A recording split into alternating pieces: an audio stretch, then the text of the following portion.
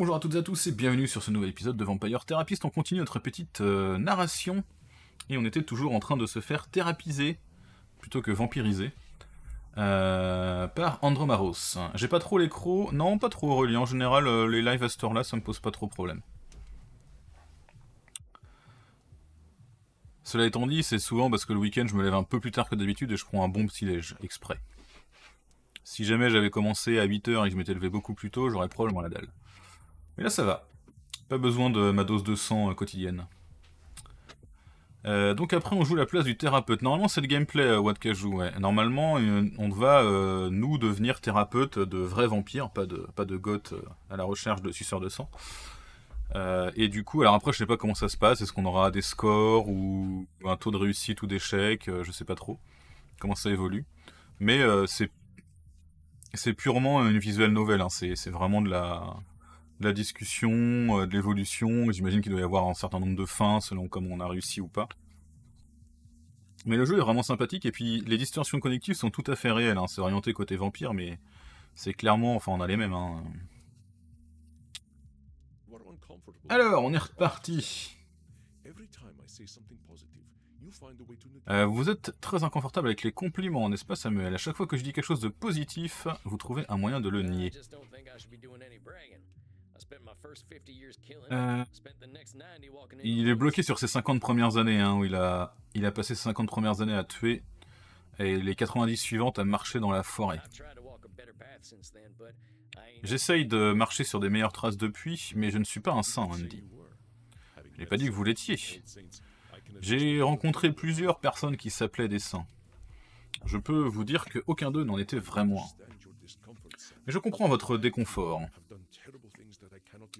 Moi aussi j'ai fait des choses terribles que je ne peux pas effacer.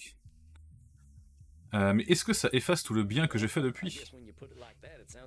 J'imagine que quand vous mettez ça, les choses comme ça, euh, ça paraît effectivement un peu bizarre. Et voilà une nouvelle distorsion positive. Celle que les mortels appellent un disqualifying the positive. Ok, intéressant. Disqualifying the positive, hein, c'est le fait de ne jamais accepter qu'on fait des choses positives. Des choses terribles, comme reprogrammer une imprimante. Aurélien, est-ce que toi aussi tu as des orgasmes quand tu arrives à configurer un serveur mail avec succès? Avec des cahiers mais des marques, hein. attention, on n'est pas des bêtes. Hein. Alors, je comprends que les actions de votre passé sont difficiles à porter. Et bon, ça va, il a fait que 50 ans de killing, alors que Andromaros, c'est plutôt sur les 2000 ans, quoi. Euh, mais ici, nous sommes là pour accepter la réalité, à la fois avec ses aspects positifs et négatifs.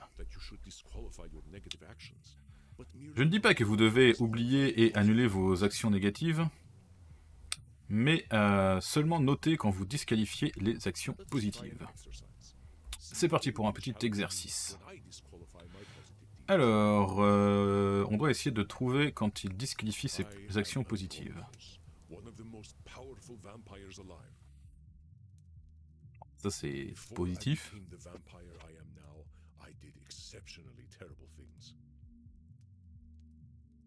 Ça c'est accepter le fait qu'il a fait des choses terribles. Ça c'est juste la vérité. Ça, par contre, c'est euh, disqualifying the positive.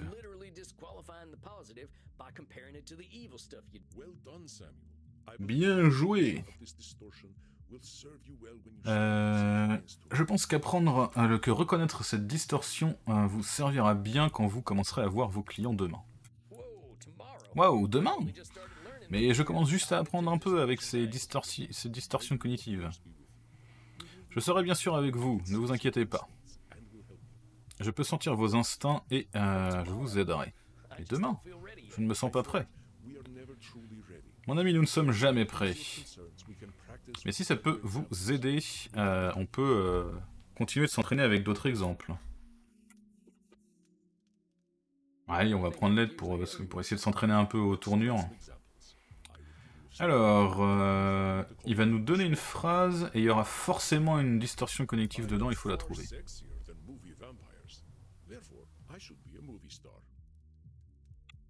Alors, euh, Ça, c'est du should statement.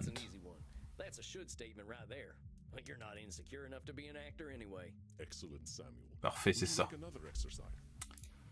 Allez, un autre.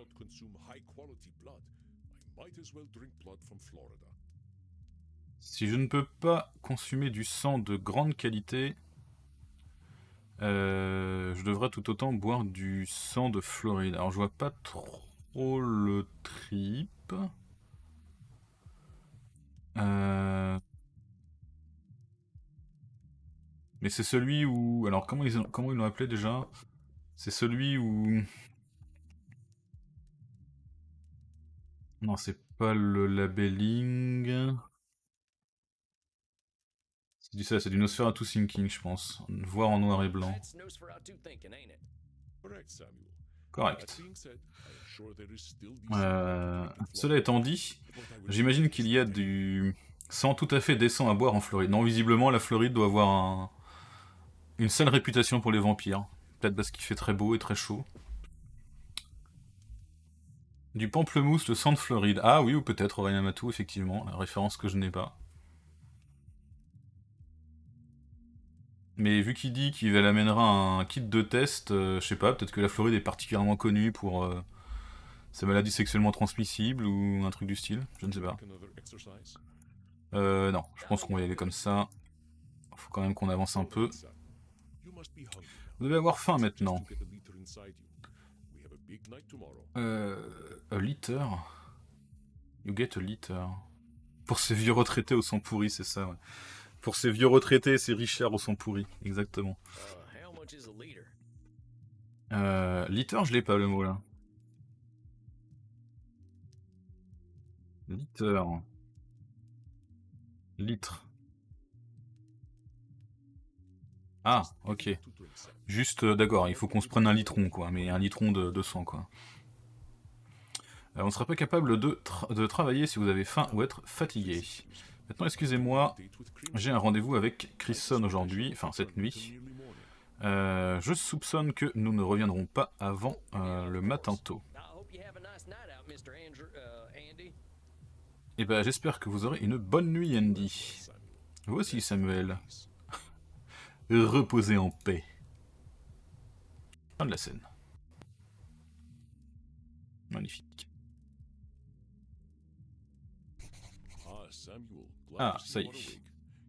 Samuel, heureux de vous voir réveiller. Votre premier client est euh, sur le chemin. Alors du coup, on a eu le 12 avril. Ok, on a appris euh, les deux... Euh, les deux trucs cognitifs. On a exploré Leipzig.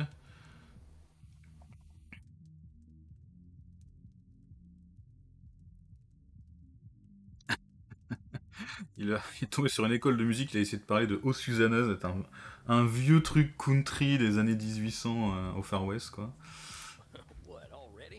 Oh, déjà Est-ce que vous êtes sûr que je suis prêt pour ça?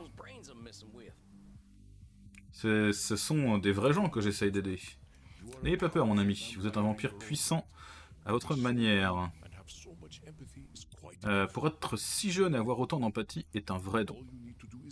Tout ce que vous avez à faire est d'écouter. Et euh, je sais que la vérité se révélera à vous. J'aimerais avoir votre confiance. Eh bien, d'une manière un peu limitée, je peux voir le futur. Si vous, si vous êtes sur le point euh, de mésinterpréter une distorsion pour un client, j'essaierai de vous remettre dans le droit chemin. D'accord, bon ça c'est le petit truc, il va être capable de savoir si on va se gourer.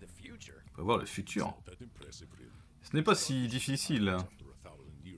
Vous commencez à voir les patterns après un an, un millier d'années euh, et quelques. Attention Attention Ça, c'est du contrôle fallacie. Non. C'est pas du contrôle fallacie. Est-ce que vous alliez dire quelque chose, Samuel? Raté.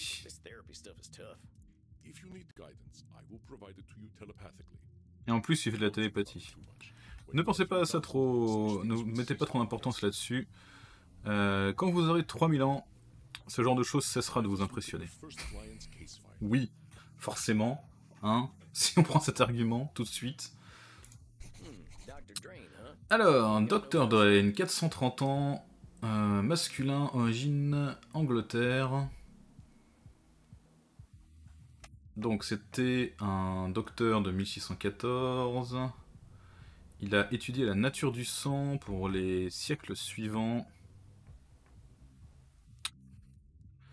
Euh, il est devenu un vampire lui-même.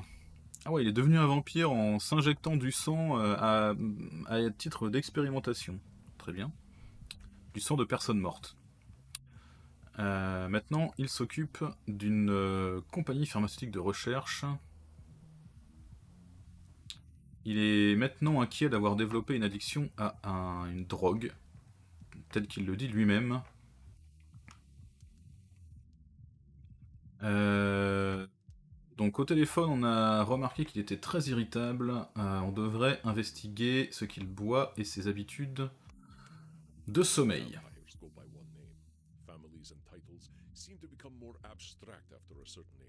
Euh, beaucoup de vampires. Ah oui, parce qu'on s'inquiétait du fait qu'il n'y ait pas de prénom, mais euh, les noms de famille et les titres euh, deviennent beaucoup plus abstraits après un certain âge. pourquoi ça c'est... Ok, d'accord. On a rempli notre premier client record, très bien.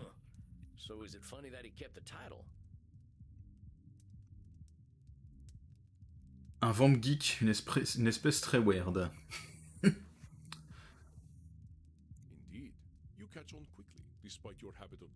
Euh, vous repérez les choses rapidement malgré votre habitude de disqualifier le positif.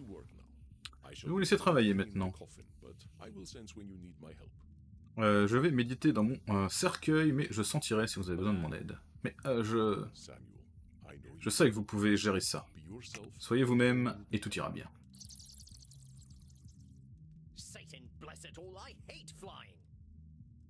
Mais euh, je comprends pas du coup, qu'est-ce que j'ai raté? C'était pas du disqualifying the positif C'était pas du should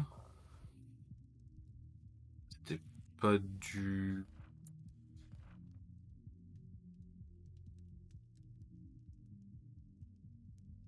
Pour moi, ça aurait été du contrôle fallacie, mais bon, bah, je sais pas du coup. Peut-être qu'il y avait rien à dire. Hein. Peut-être que des fois, il nous propose de cliquer alors qu'il n'y a rien à dire. Euh, Satan les maudissent tous. Hein. Je déteste voler. Eh, salut. Euh... Sympa le mec. Euh, mais bon sang, qu'est-ce que vous êtes? Je suis Sam, je suis le nouveau thérapeute. Installez-vous confortablement, Dr. Drain. Et américain en plus. N'est pas suffisant que vous preniez, euh, que vous envahissiez le monde des vivants, il faut aussi que vous preniez le monde des morts.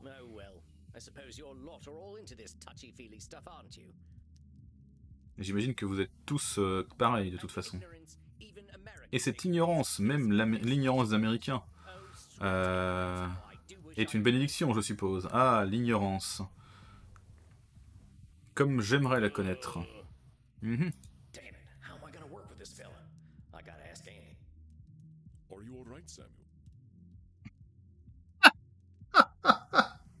Mhm. Andy le guest des années 90 quoi. J'adore. Vous m'avez donné ce type comme premier client. Et pourquoi pas? Il cache pas grand chose euh, de sa manière de penser. Comment je suis supposé l'aider euh, alors qu'il me voit comme le mauvais comme un méchant? utilisez, utilisez vos instincts, Samuel. Réfléchissez euh, à propos de comment vous vous sentiez dans vos heures les plus sombres. Qu'est-ce que ce pauvre vampire veut? Il veut se plaindre.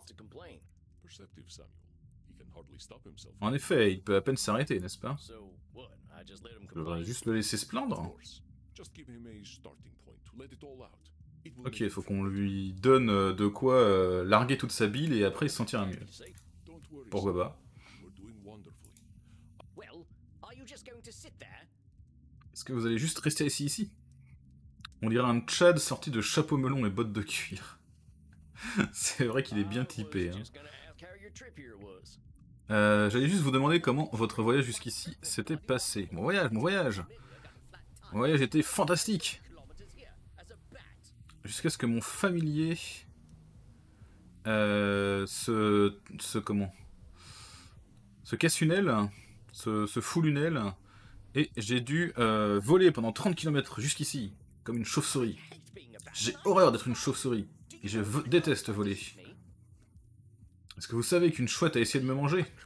Moi Une créature qui a vécu pendant des siècles Traité comme une proie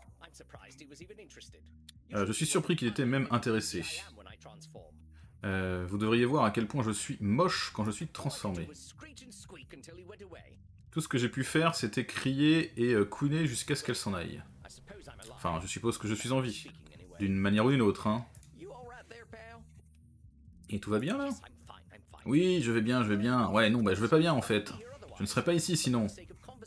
Mais pour le bien de la conversation, je vais bien.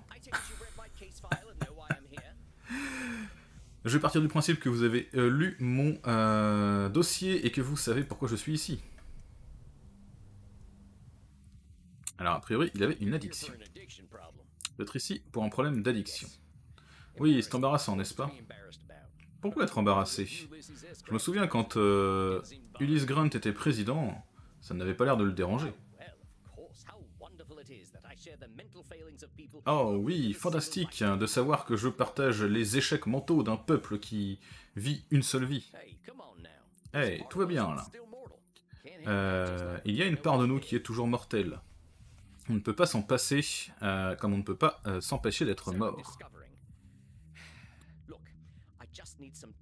Ah, ok, j'ai juste besoin de quelques conseils et je partirai. Donnez-moi les astuces, quoi que ce soit qui me permette de faire partir mon addiction.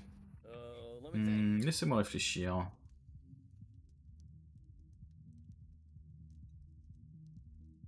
Euh, bah non, il n'y a pas de solution simple. Il n'y a pas de tips magiques qui pour vous soigner, mais je suis ici pour vous écouter.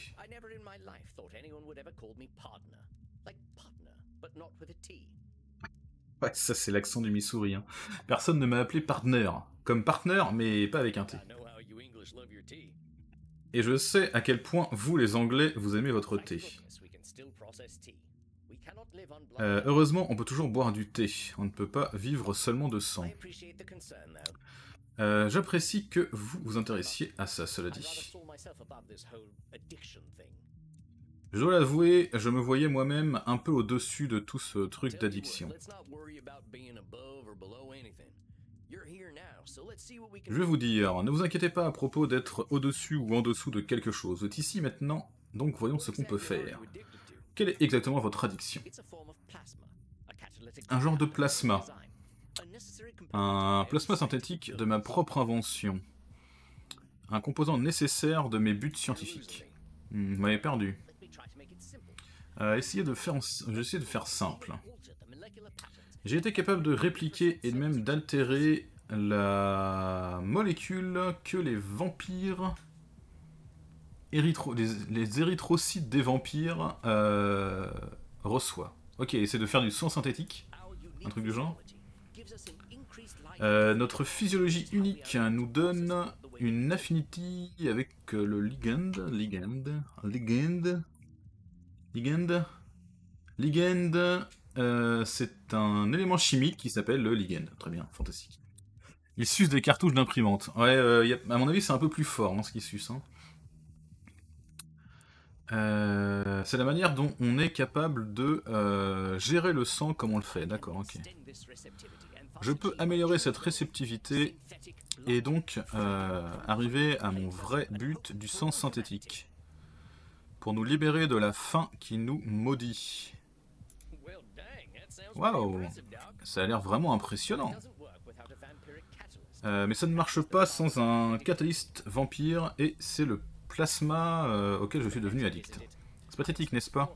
J'ai passé 400 ans à essayer de voler le secret du sang, euh, seulement pour redevenir empoisonné par lui. Comme Prométhée qui marcherait dans un feu de camp. Pathétique Mais où est-ce que vous avez été chercher un mot comme ça? Vous avez commencé à créer un sang synthétique. Euh... C'est absolument incroyable. Je vais traduire ça comme ça parce que c'est un petit peu trop... Euh, voilà. C'est une expression toute faite. Hein. Euh, peut-être que vous avez eu un ou deux problèmes, mais permettez-moi de vous dire que vous avez quand même un petit peu de crédit. Pour avoir perdu 400 ans Si je parle de manière pratique, je suis au même endroit que j'étais quand euh, King ja le roi James était encore en puissance. Seulement maintenant, j'ai en plus un problème de drogue. Peut-être que je devrais faire euh, face à la réalité. Mon professeur avait raison. Euh, rien de ce que nous ferons ne fera jamais de différence. Sympa le prof.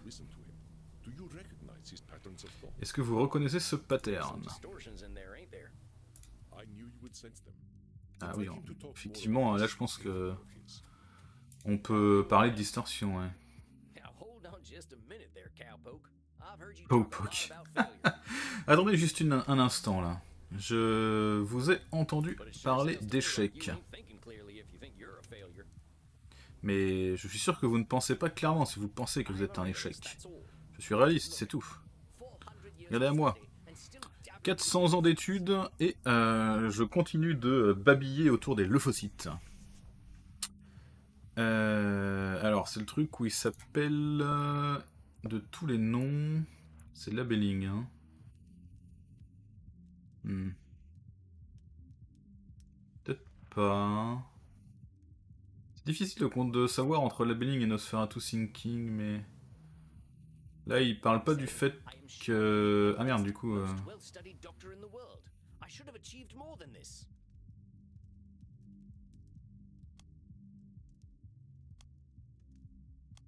Ah, c'est chaud, hein Non. I wonder who told Dr. Drain that he needed to do so much. I'm saying I am surely the oldest, most well-studied doctor in the world. I should have achieved more than this. Mm hmm. Non, c'est peut-être plutôt euh, contrôle fallacie du coup. Putain, vache, c'est chaud.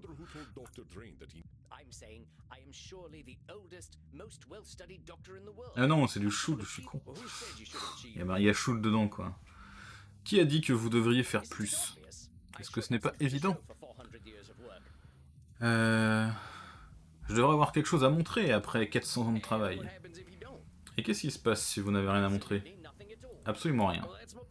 Et c'est exactement ce que je veux dire. Ce n'est pas aussi encourageant que vous semblez le penser. Ce n'a pas besoin d'être encourageant, c'est juste pour vous montrer la réalité. C'est de toute façon ma faute. Euh, je n'ai pas pu motiver mes scientifiques suffisamment pour atteindre le bon niveau euh, euh, d'implication. C'est toujours choquant pour moi de voir à quel point les mortels sont peu conscients de leur, de leur vie. Donc c'est totalement votre faute si vous n'avez pas fait le, si vous n'avez pas réussi à atteindre le son synthétique parfait. Ça ne peut pas être la faute de quelqu'un d'autre. Moi seul ai les compétences, la connaissance et l'expérience. Excusez-moi de le dire, Doc. Euh, mais ce que vous faites est quand même sacrément compliqué. Pour moi, c'est comme si vous étiez un dieu si vous vous attendez à contrôler la vie elle-même. S'il vous plaît, je suis un scientifique, pas quelqu'un de spirituel. Ce n'est pas le contrôle que je recherche, mais la compréhension. Et est-ce que vous aurez euh, un jour la compréhension parfaite? Non, bien sûr que non, je ne suis pas un magicien. Euh, et donc du coup, si vous arrêtiez de considérer que vous devez sauver le monde à vous tout seul. C'est une simplification, mais je vois ce que je voulais dire. Et ce que je voulais dire... Maintenant que je suis addict à ma propre drogue, euh, j'ai rejoint le rang des euh, célébrités mortelles. Hey, Cowpoke, you mind repeating all that stuff you just said? I most certainly do mind, but very well. Look at me. 400 years of study and still dabbling with leukocytes. Le gars est en plein délire prométhéen. Ouais, c'est un peu ça, ouais. Euh... Tac, tac, tac. Disqualifying positive. Je ne connais pas beaucoup de gens qui pourraient, qui pourraient appeler, parler, euh, travailler avec des leucocytes dabbling. Je dire, je dois l'admettre. Je n'ai pas la moindre idée de ce que vous parlez, de ce dont vous parlez. Euh, donc sauf si vous inventez tous ces termes scientifiques, je pense que vous euh, en savez un peu plus que juste euh, travailler avec un kit de chimiste. Peut-être, hein, mais si on considère tout ce que je sais, tout ce que tout ce l'on peut connaître à propos du sang, j'en sais vraiment très peu. Mais vous connaissez, vous savez quelque chose. Oui, d'accord, j'admets que je peux... Euh, je connais quelque chose, quelques trucs à propos du sang. J'espère bien quand même, après 400 ans.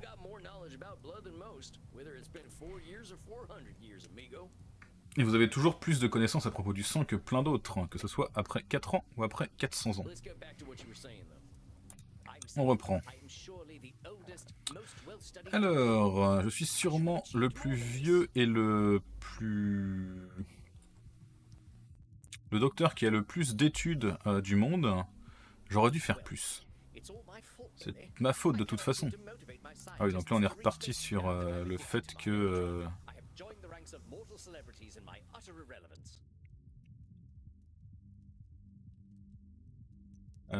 ta, ta. Regardez Brigitte Matron en 400 ans, elle sait à peine se coiffer. Oh Bravo Je suis pas sûr qu'elle se coiffe elle-même de toute façon. Euh, et l'argent n'a jamais apporté le bon goût. Ça, c'est quelque chose de sûr.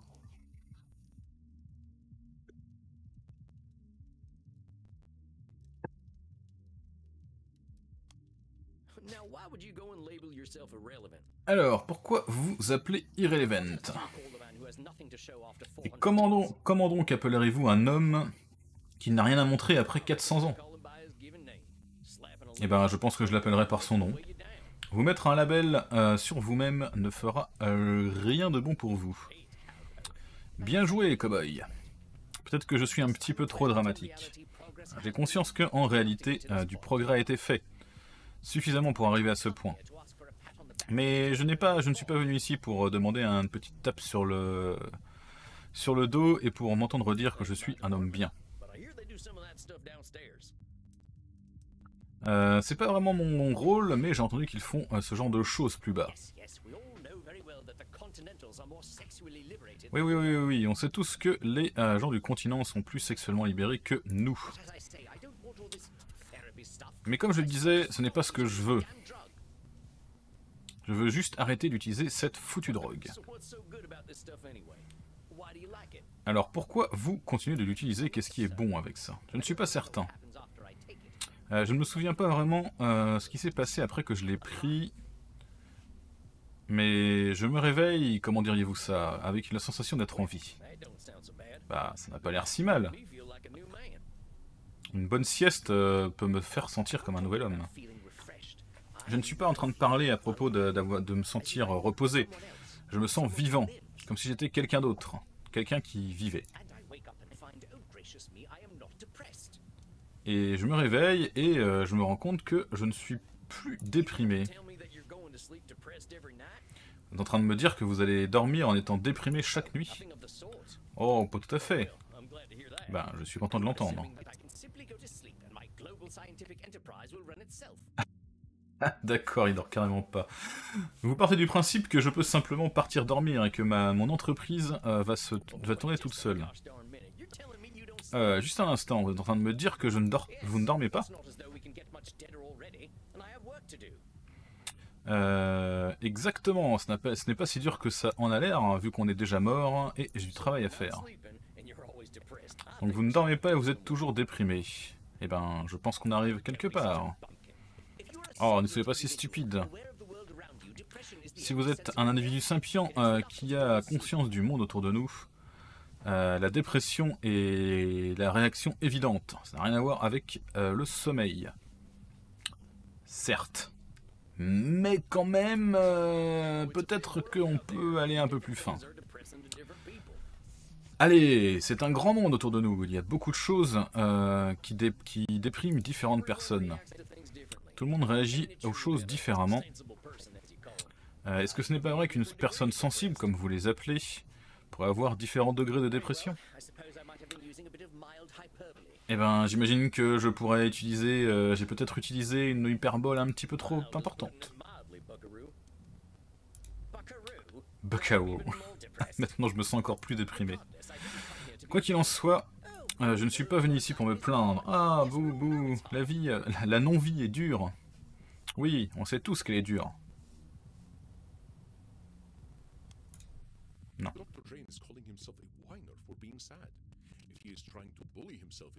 Non, c'est la baigne. Pourquoi vous pensez que venir ici et me parler fait de vous un chouineur? Est-ce que ce n'est pas ce que je suis Vous êtes juste en train de parler de vous. Un chouineur, c'est le mot que vous avez utilisé. Si vous voulez appeler ça chouiner, euh, ça vous regarde. Mais c'est entièrement votre choix. Très bien, appelez ça euh, râler ou grogner, non, c'est pas moaning, c'est gémir. Ce sont toujours des labels.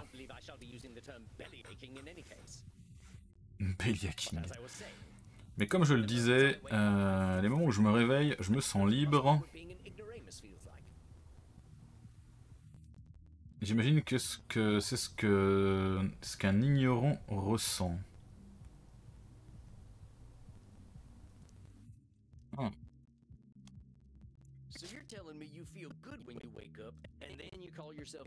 Alors ce que vous me dites, c'est que vous vous sentez bien quand vous vous réveillez, et en même temps vous vous appelez un ignorant. Avant même de prendre la chance de vous rendre compte que vous vous sentez bien, vous vous insultez vous-même. C'est ce que j'aime appeler disqualifying the positive. Je ne fais que dire des faits. Euh, dire des faits ne valide pas un argument. Et quel bien, euh, quel bien fait fait-il à qui que ce soit? C'est presque aussi inutile qu'un holster vide. Très bien. Oh, j'oublie parfois que vous êtes un cowboy. À propos de cette drogue, j'imagine que je pourrais parler de mon expérience.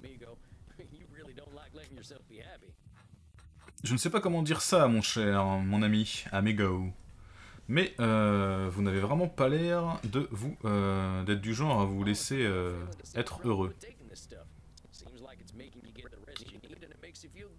Honnêtement, je ne vois pas le problème avec prendre cette drogue.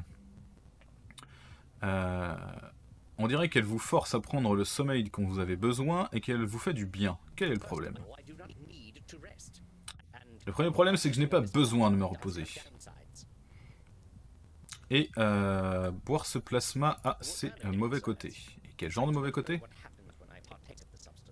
Je ne me souviens pas de ce qui se passe quand, la quand je prends la substance. Cependant, quand je me réveille, euh, je me sens rafraîchi, mais je sens aussi le sang et le sexe. Très bien. Une fois, je me suis même réveillé dans un vestiaire de football. Ok. J'imagine que vous deviez avoir un peu de bon temps. Ce n'est pas mon idée du bon temps.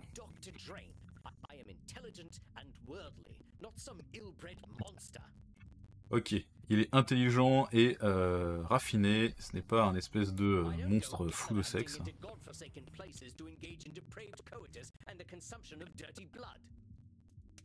Et eh bah écoute, visiblement c'est ce que tu fais. Euh, il me semble que vous êtes vraiment très bon à vous interdire des choses. J'aurais dû être meilleur.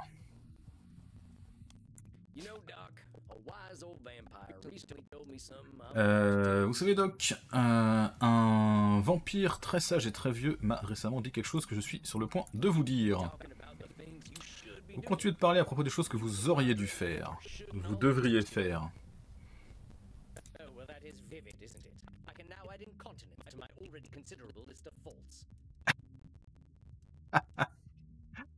Je peux maintenant euh, ajouter à ma liste de fautes que je suis totalement inconscient. Je suis sérieux. Euh... Je continue de vous écouter en train de me dire je ne devrais pas faire ci et je devrais faire ça. Vous devriez essayer le rugby, on saigne, on sent le vestiaire. Ouais, c'est vrai qu'il y a un peu plus de sang dans le rugby que dans le football. Après, euh, football, c'est peut-être football au sens euh, anglais, euh, on est quand même pas très loin du rugby. Hein. Mais qui vous a dit tout ce que vous devriez et ne devriez pas faire? Je ne sais pas. Ça devrait compter? Je suis mort depuis 400 ans. Euh, on a tous des traumatismes. Et en plus on est mort. C'est traumatisant, euh, quoi qu'il en soit. Ce par quoi on devrait commencer, c'est vous. Vous avez traversé beaucoup de choses. Ne vous restreignez pas trop. Regardez, on a déjà pas mal avancé, je le sais. Mais ne poussons pas trop.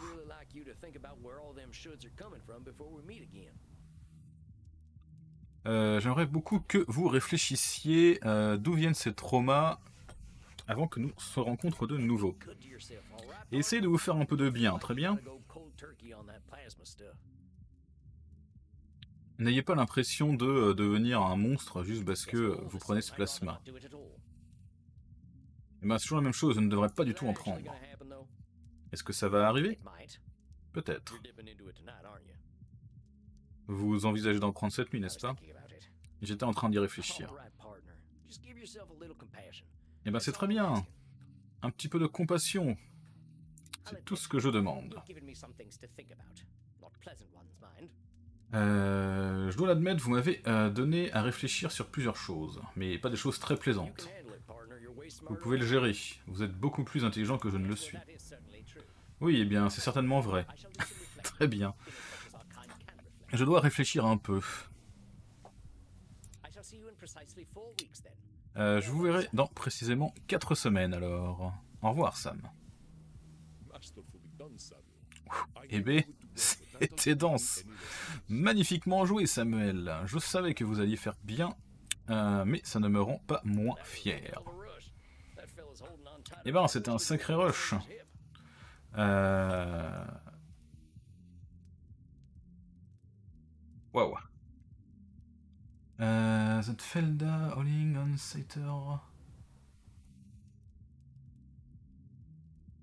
Ce type se prend vachement plus. Euh, enfin, se met vachement plus de pression, se presse beaucoup plus que euh, un holster dans la poigne d'un tireur d'élite.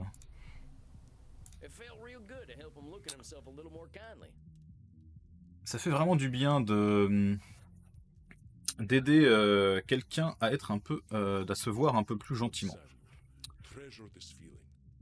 Très bien. Chérissez ce sentiment. Mais reposez-vous aussi. Prenez quelque chose à boire, relaxez, relaxez-vous dans votre... Euh, merde, j'ai perdu le mot. Coffine. Euh... Ah, j'ai perdu le mot, c'est pas grave. La semaine prochaine, vous verrez un nouveau client. Je pense que euh, Yale sera un, challenge intéressant pour vous. Je vous souhaite une bonne soirée et rest in peace.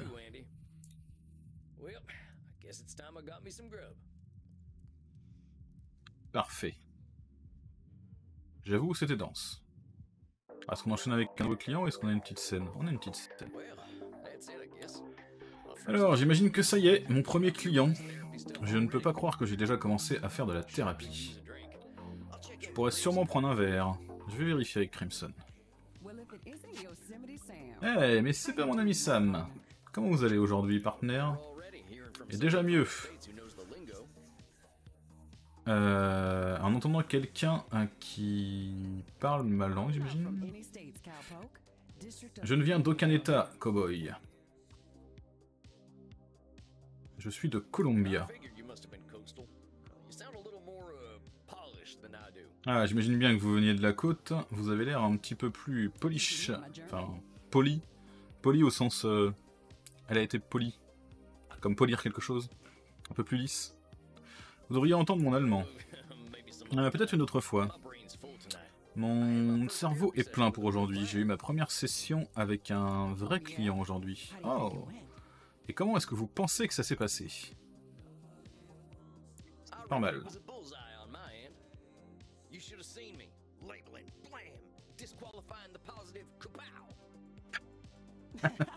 lâche-toi, lâche-toi, gars. Euh, je suis content de l'entendre, quelqu'un doit s'occuper de ces vampires. Ils ont déjà suffisamment de problèmes. Ah, tu ne blagues pas. Vivant ou mort, euh, dès que les gens atteignent 70 ans, euh, il commence à devenir très bizarre. Et puis alors, les vampires ont un vrai problème à atteindre 70 ans plusieurs fois.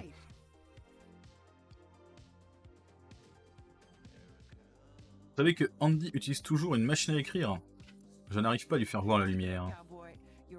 Continuez comme ça, cowboy. Vous êtes une bouffée d'air frais pour ces anciens. Est-ce que quelqu'un vous avait déjà dit que vous êtes euh, très sage, Crimson? Vous avez dû passer une sacrée vie. J'ai peur d'être aussi sage, exactement aussi sage que mes années. Comment bien vous pensez que j'ai, cowboy? Ah, on ne tombe pas dans le piège. Je vais euh, jouer le gentleman et je ne vais pas tenter euh, de deviner. Vous auriez eu faux de toute façon. J'ai 50 ans. Allez Allez, bien conservé, effectivement. 50 ans, mais je suis mort autour de cet âge et euh, j'ai l'air d'un vieux. Mais pourtant, vous n'êtes pas un vampire. Ah, il partage son sang aussi avec elle, du coup. Juste assez pour ne pas la transformer en vampire. Et du coup, ça fait un bon paquet qu'elle a... Euh, ça fait 20 ans, bah du coup 20 ans qu'elle a 30 ans. Très bien. Et vous ne voulez pas rejoindre notre équipe? On dirait qu'il y a une histoire derrière tout ça. Pas pour ce soir. J'imagine que vous avez soif. Andy m'a demandé de vous donner ceci.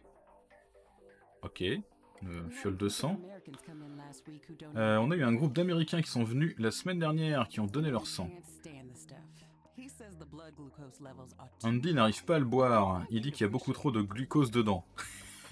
Sans déconner. Mais il pensait que vous l'apprécieriez peut-être. Oh, c'est pas si mauvais, mais je dois demander seulement.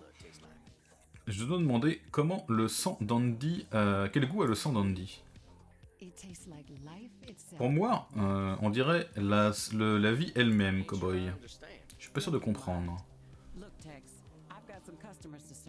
C'est pas grave, hein. mais regardez, j'ai quelques clients à servir, donc... Euh, enjoy your juice.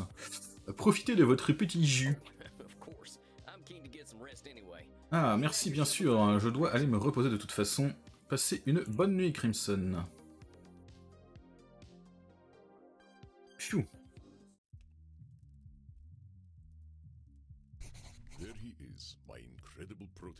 Oh, my incredible protégé.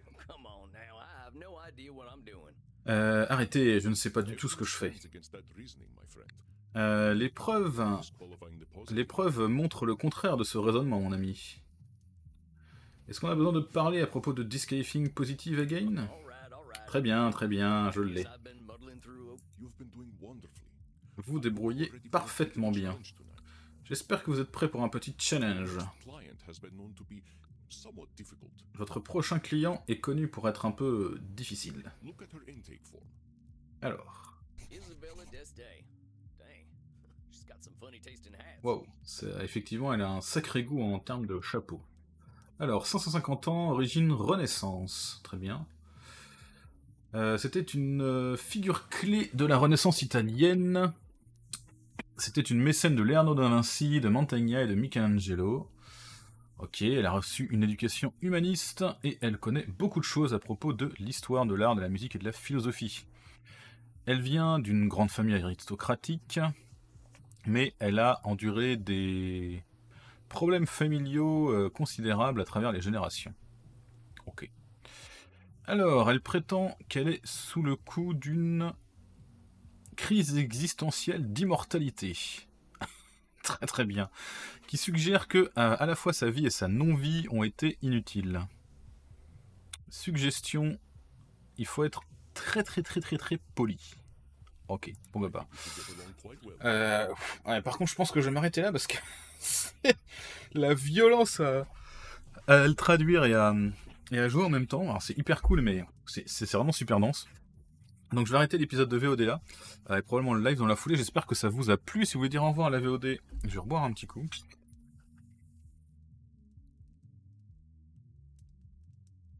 N'hésitez pas à laisser un petit commentaire, me dire ce que vous en avez pensé. Je sais pas si j'en ferai du coup, si vous voulez que je continue l'histoire avec vous. N'hésitez pas à me le dire. Et on se dit à très vite pour la suite. Ciao ciao tout le monde